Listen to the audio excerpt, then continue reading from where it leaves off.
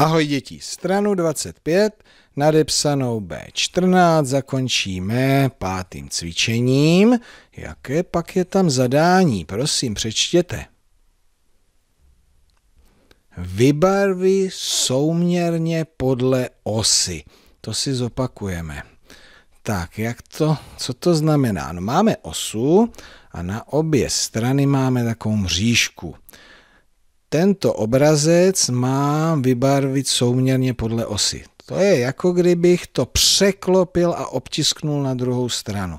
Kteráže políčka byla obtištěná? Tahle ta, a tam tahle, jo, tam tahle ta se obtiskne sem, tyhle ty tři a ještě tohle políčko půjde sem a vznikne mi jakoby takový pták. Dobrý, tak to byla ukázka. Tak a kontrola. Bezva. Tak, dejte se do práce, přerušte video a zkuste to samostatně. Ano? Nebojte, ukážeme si řešení.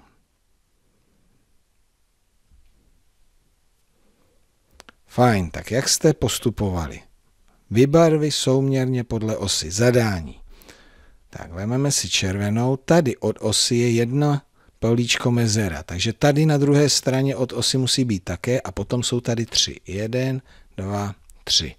I hned od osy a v řádce tři políčka.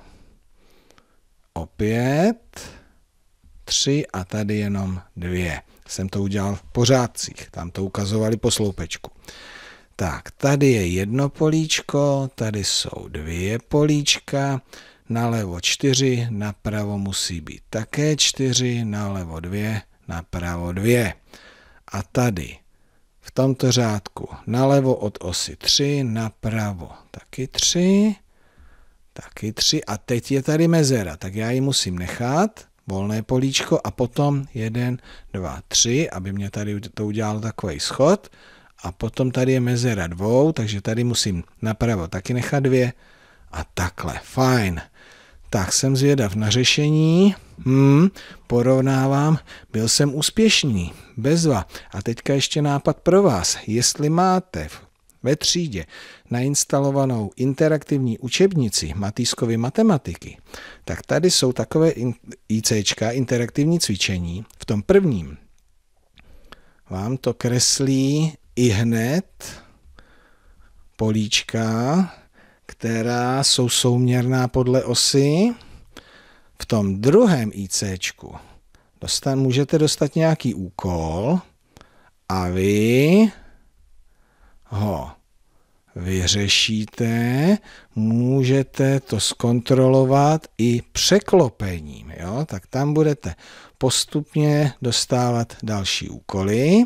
No a v tom třetím, tam můžete sami někomu zadat úkol a kolega v lavici nebo ve třídě to vyřeší a vy mu to můžete takhle zkontrolovat. Takže takový námět do práce s interaktivní učebnicí